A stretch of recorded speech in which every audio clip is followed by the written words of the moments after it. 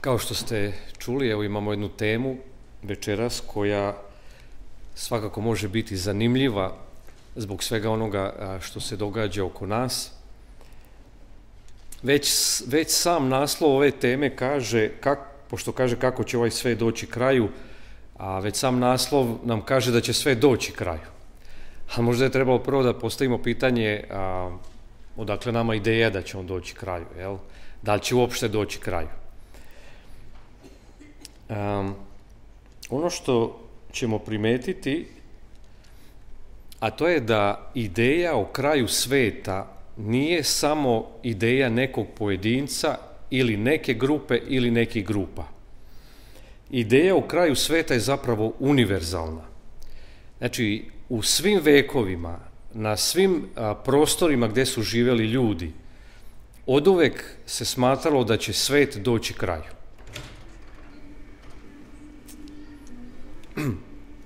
I ja ću večeras govoriti upravo o tim nekim a, idejama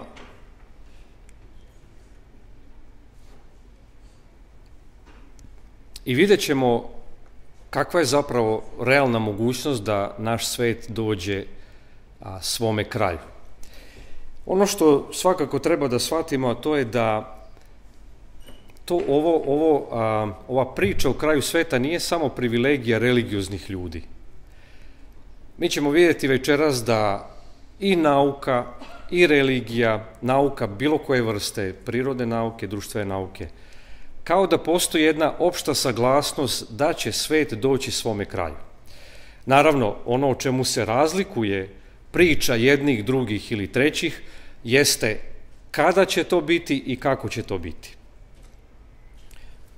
Ajde da krenemo nekim a, redom koji sam ja proglasio za red, možda i ne bi trebalo tim redom, ali evo meni ovako izgledalo logično.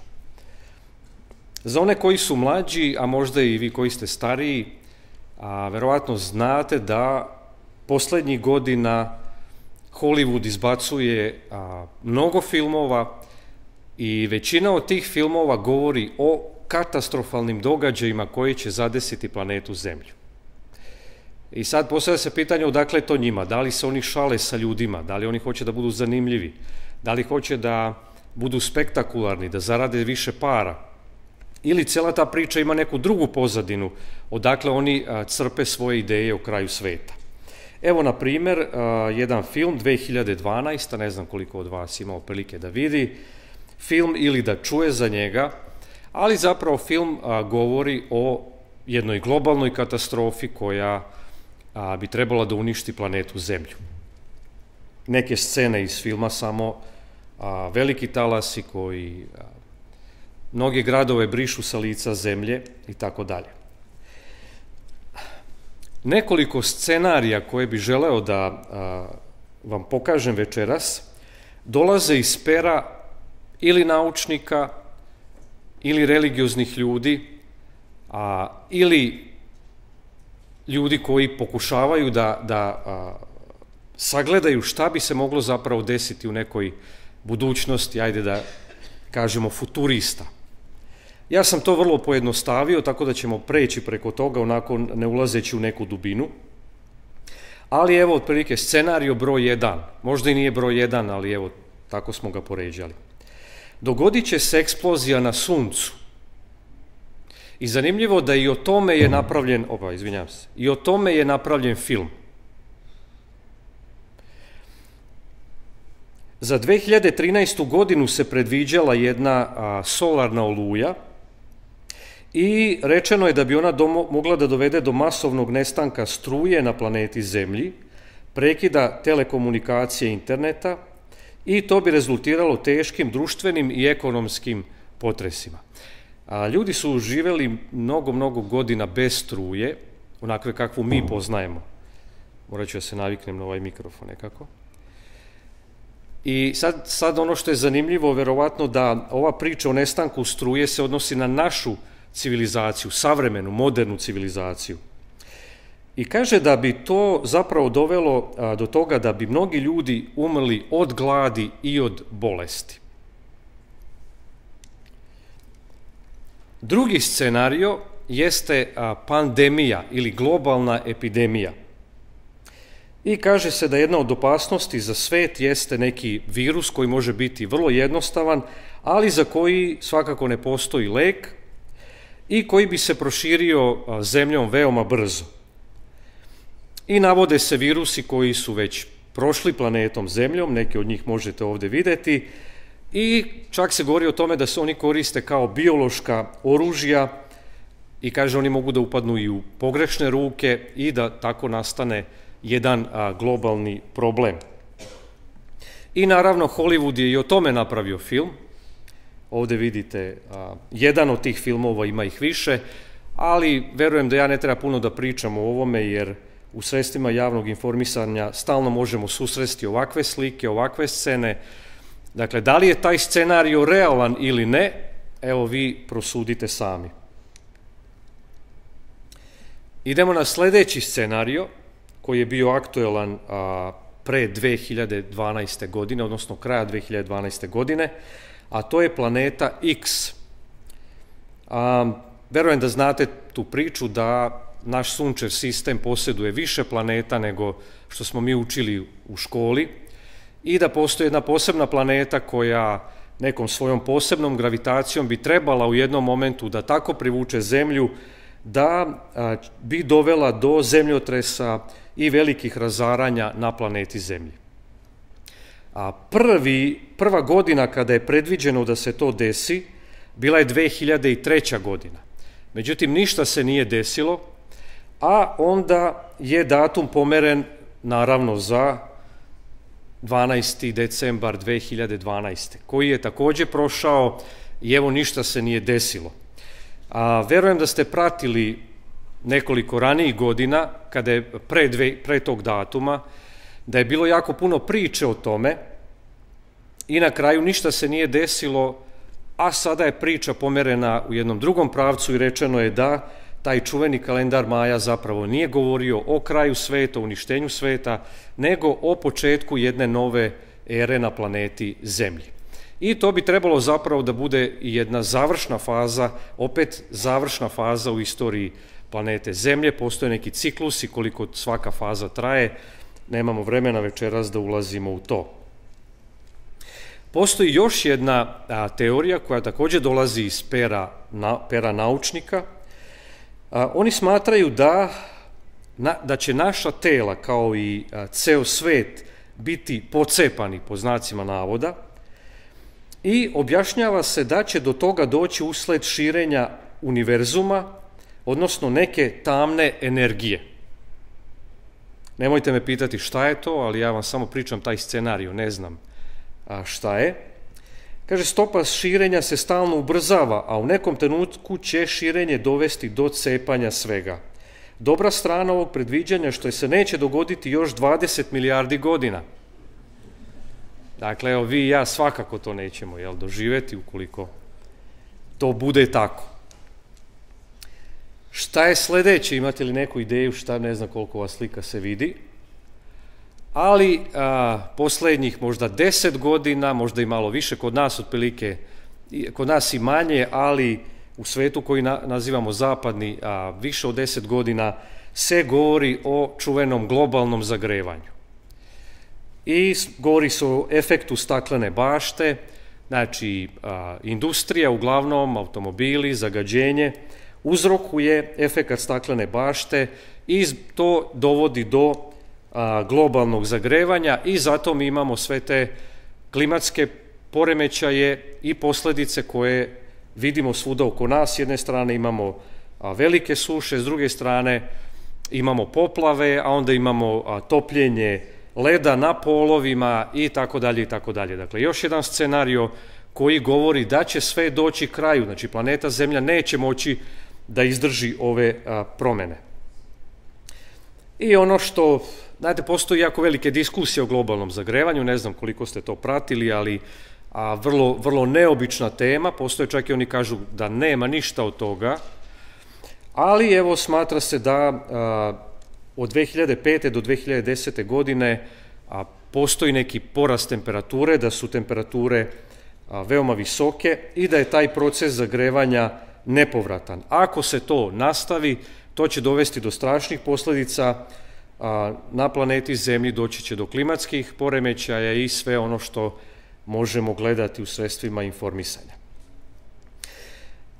Još jedan scenario govori o gama zracima zbog eksplozija supernove, a šire se neki visokofrekventni zraci, odnosno elektromagnetni zraci i to bi takođe moglo dovesti do takvog scenarija da a, ima katastrofalne posledice na planetu Zemlju kao što su požari, kao što, su, kao što je uništenje živih vrsta i tako bi svet mogao doći svome kraju. Kaže, šanse za ovo su zaista male, iako se govori o tome, ali evo kaže šanse su male. E sada postoji jedan zanimljiv scenario koji možemo nazvati osveta mašina. O čemu se zapravo radi? Dakle, stvar nije neozbiljna ovde, neki mogu smatrati da, da to nema veze sa realnošću, međutim nije naivna priča. Otprilike priča ide u tom pravcu da, pošto tehnologija napreduje svakodnevno, a postoje mišljenje da bi mašine mogle da postanu svesne, inteligentne i da preuzmu svet jer bi u tom slučaju nadmudrili svoje tvorce ili svoje stvoritelja, to je čovek. Čuveni naučnik Stephen Hawking misli da bi kompjuteri mogli da postanu pretnja ljudima.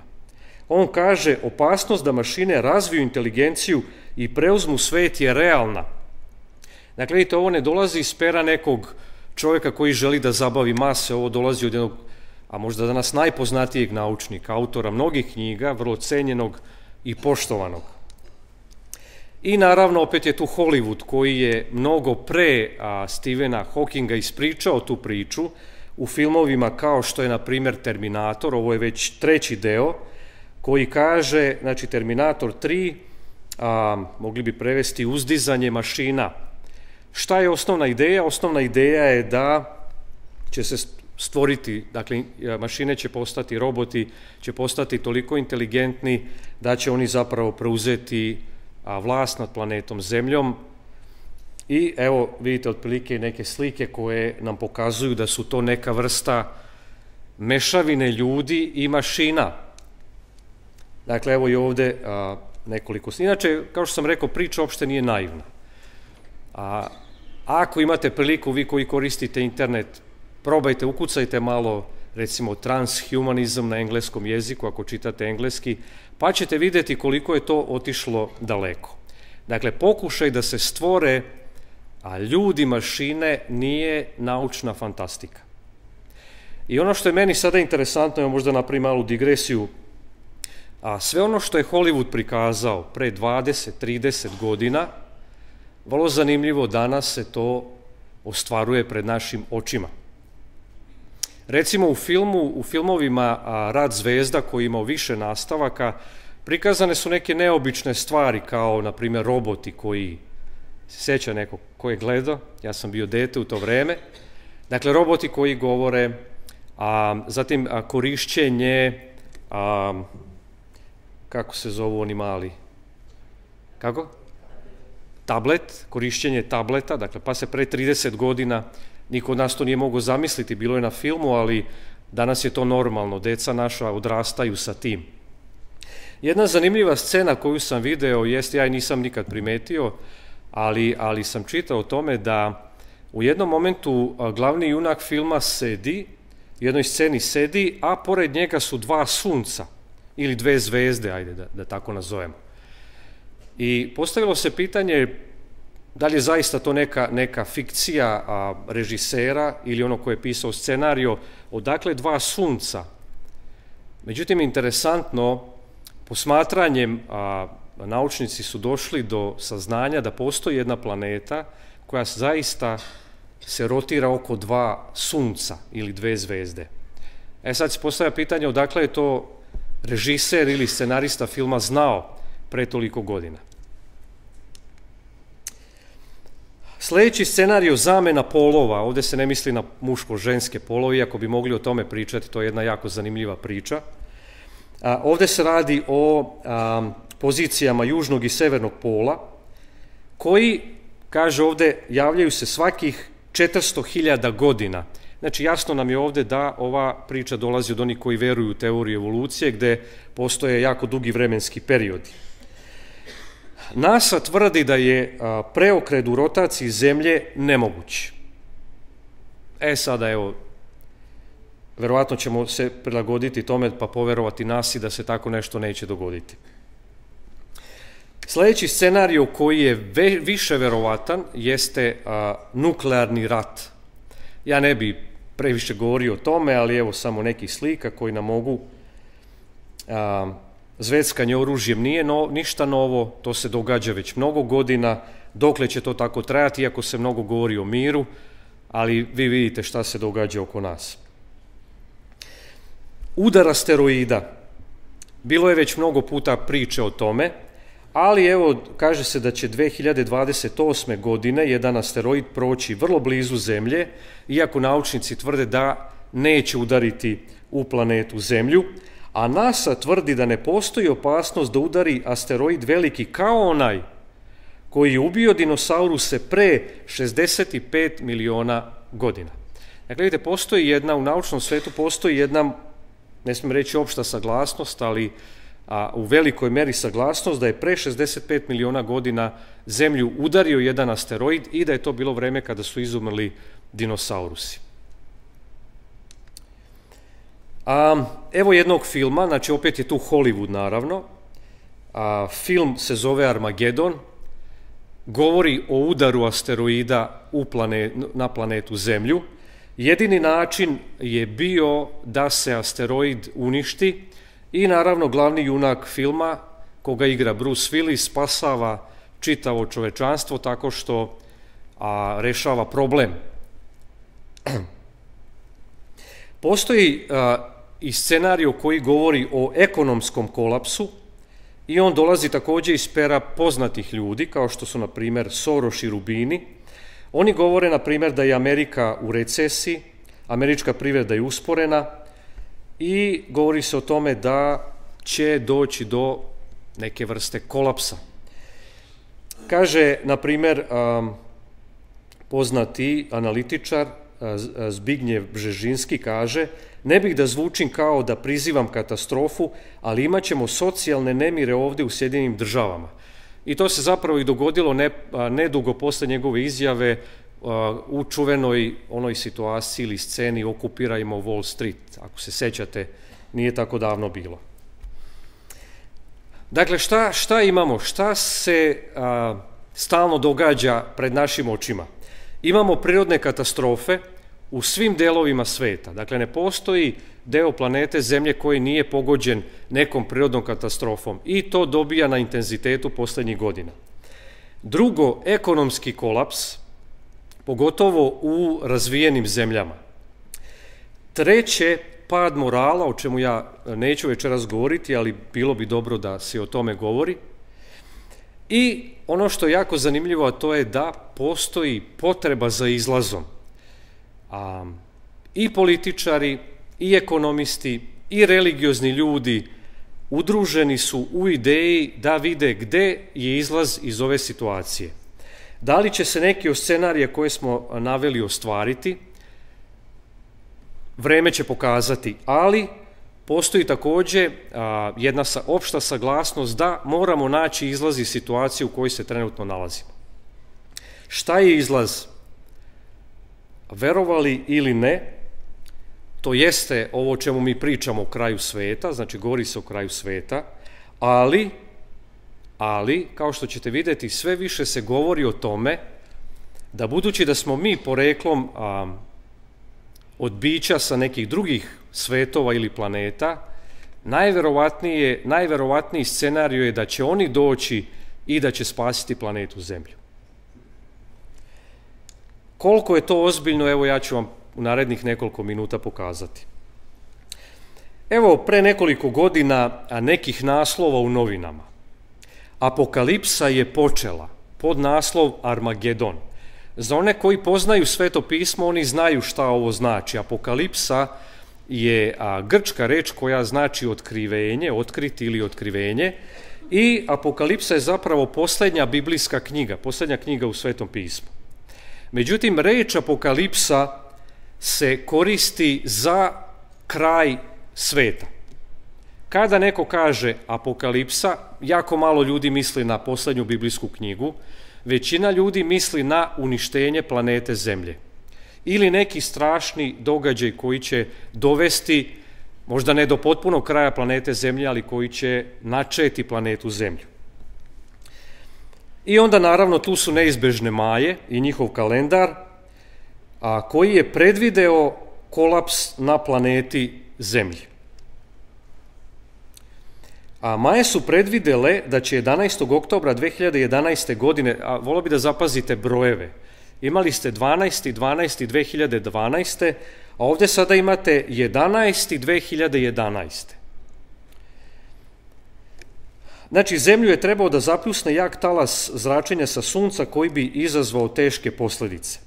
Onda imate opet naslov, kaže Apokalipsa dolazi 2013. godine, opet pomereno je, kad, razumete, nije se dogodilo pa se pomera sad za sledeći datum.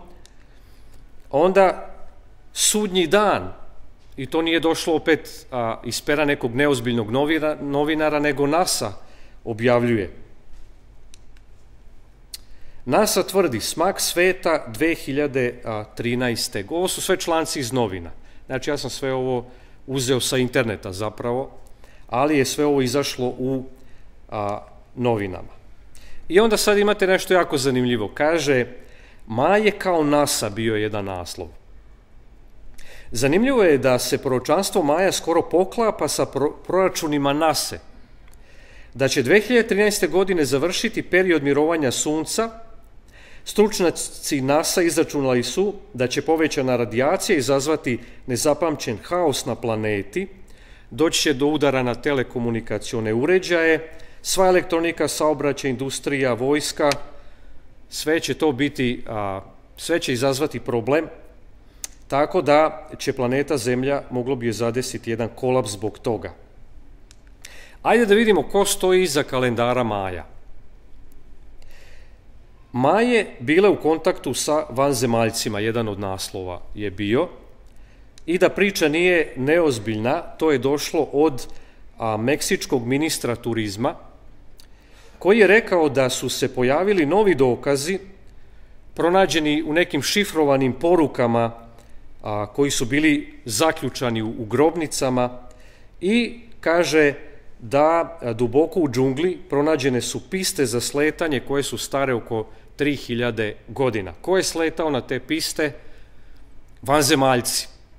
Oni su bili ti koji su Majama preneli kalendar, budući da su došli iz a, svemira, oni znaju kako se kreću planete, oni znaju sve te proračune, dakle Maje to nisu mogle znati, I evo kako je to zapravo došlo do maja. Međutim, ajde nekako rekli bi, ajde neki ljudi koji se bave tim sferama, pa ajde da kažemo da, da su oni to smisli. Međutim, da priča nije ni malo naivna, vidjet ćemo da sve ovo dolazi iz pera naučnika, koji kažu da bi svet trebao da se pripremi za koordiniranu akciju u slučaju da zemlju posete vanzemaljci.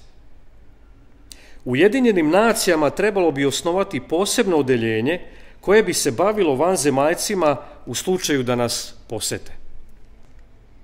Ok, ovde su, da ne dužimo u detalje, a, uglavnom ove su imena ljudi koji su, a, a to su profesori univerziteta koji su dali ovakvu izjavu, i oni kažu moramo biti spremni za tako nešto, imati osmišljeno i koordinirano delovanje u slučaju da nas posete. Zato je potrebno osnovati legitimno političko telo koje će se time baviti. Šta mislite, su osnovali ili nisu?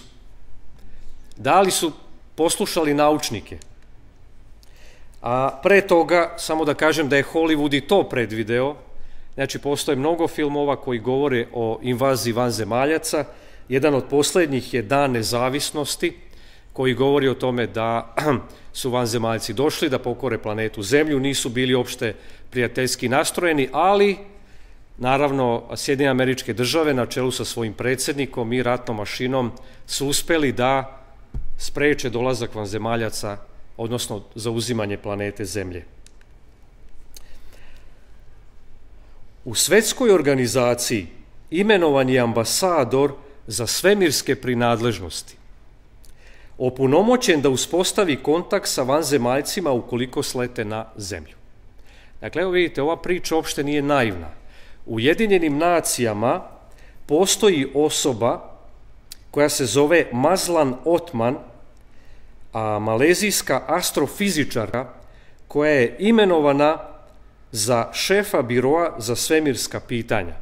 I ona je zadužena kao predstavnik planete Zemlje za kontakte sa vanzemaljcima. I evo ja sad samo pitam vas, ukoliko to dolazi sa nivoa Ujedinjenih nacija, da li mislite da je ova priča neozbiljna? Dakle, postoje ozbiljni ljudi koji vode politiku, ekonomiju i šta god hoćete na planeti Zemlji, koji su duboko uvereni da će uskoro nas posetiti evo ovo je ta osoba, dakle evo vidite, to je osoba koja je zadužena za taj kontakt. Plakat za film 2012. je bilo, bio vrlo interesantan.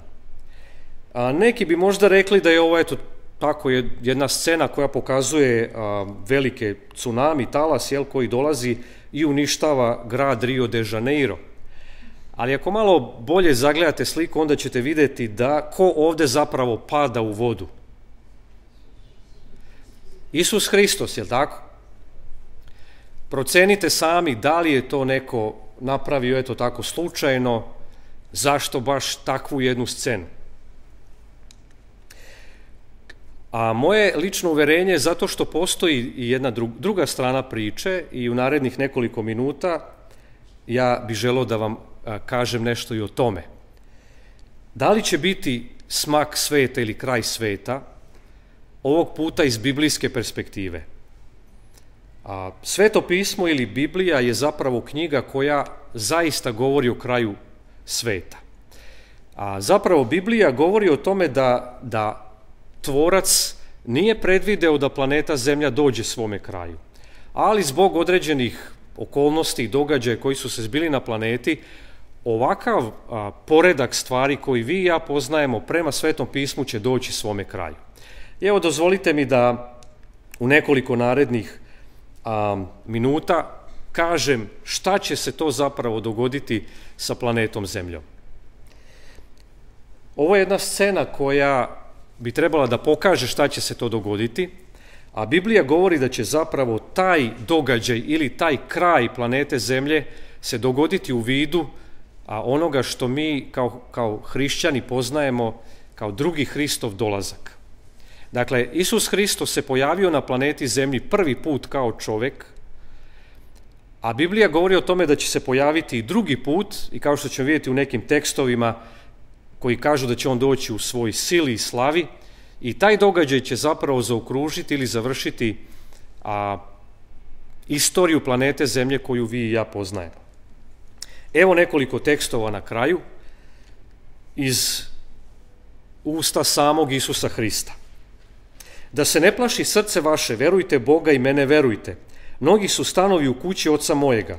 Idem da vam pripravim mesto, kaže Isus.